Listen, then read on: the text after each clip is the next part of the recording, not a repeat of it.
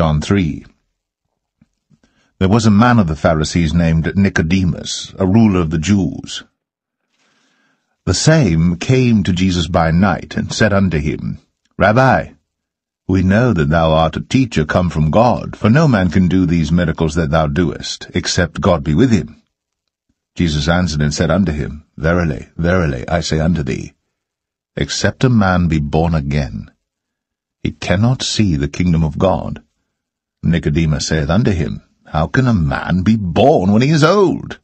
Can he enter the second time into his mother's womb and be born? Jesus answered, Verily, verily, I say unto thee, except a man be born of water and of the Spirit, he cannot enter into the kingdom of God. That which is born of the flesh is flesh, and that which is born of the Spirit is spirit.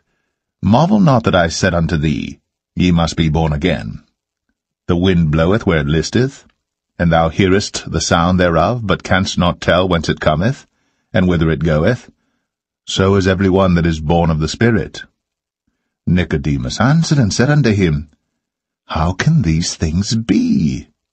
Jesus answered and said unto him, Art thou a master of Israel, and knowest not these things? Verily, verily, I say unto thee, we speak that we do know, and testify that we have seen, and ye receive not our witness. If I have told you earthly things, and ye believe not, how shall ye believe if I tell you of heavenly things? And no man hath ascended up to heaven, but he that came down from heaven, even the Son of Man which is in heaven. And as Moses lifted up the serpent in the wilderness, even so must the Son of Man be lifted up, that whosoever believeth in him should not perish, but have eternal life. For God so loved the world, that he gave his only begotten Son, that whosoever believeth in him should not perish, but have everlasting life.